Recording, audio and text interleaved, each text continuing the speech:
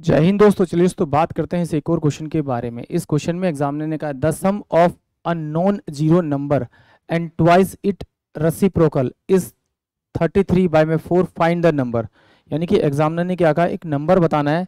जिस नंबर का रस्सी प्रोकल करूँ और उसे डबल करूँ और मैं उसको ऐड करूँ तो वो 33 बाय में फोर के बराबर आना चाहिए। तो चलिए हम एक्स से तो पहले बाद में करेंगे हम इसे। पहले हम इसे ऑप्शन की हेल्प से करते हैं।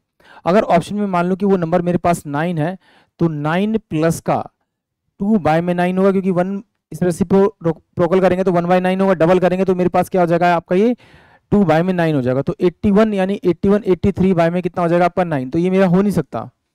तो टेन को करेंगे तो टेन प्लस का ट्वेंटी बाय में नाइन हो जाएगा। तो ये कितना हो जाएगा आपका नाइनटी ये वन टेन बाय में कितना हो जाएगा आपका नाइन ये भी नहीं हो सकता।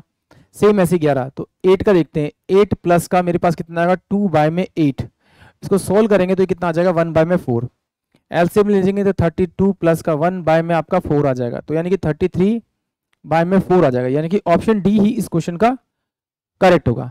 अब चलिए जरा इसको एक्स से देख लेते हैं। मान लेते हैं कि वो नंबर मुझे नहीं पता। मैंने मान लिया कि वो एक्स है। तो इसका जब रेसिप्रोकल करूँगा तो वन बाय में एक्स करूँगा, यानी वन बाय एक्स में आएगा तो रेसिप्रोकल आ जाएगा। अब वो कह रहा है इस नंबर को रेसिप्रोकल को आप डबल कर दीजिए डबल करके इस नंबर में जोड़ दीजिए, यानी एक्स प्लस का टू बाय में एक्स बराबर में जो होगा वो आपका थर्टी थ्री बाय में फोर के बराबर होगा, ये एग्जामिनर ने मुझसे कहा।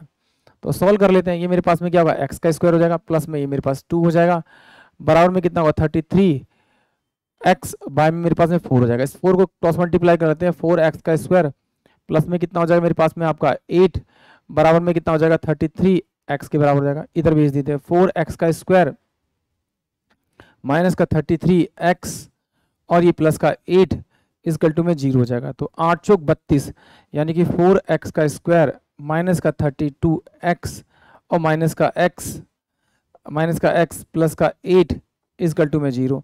तो यहाँ से चार एक्स मैं बाहर निकालूँगा तो मेरे पास एक्स माइनस का कितना बचेगा? एट बचेगा। यहाँ से माइनस वन बाहर निकालूँगा तो एक्स माइनस का एट मेरे पास यहाँ बचेगा।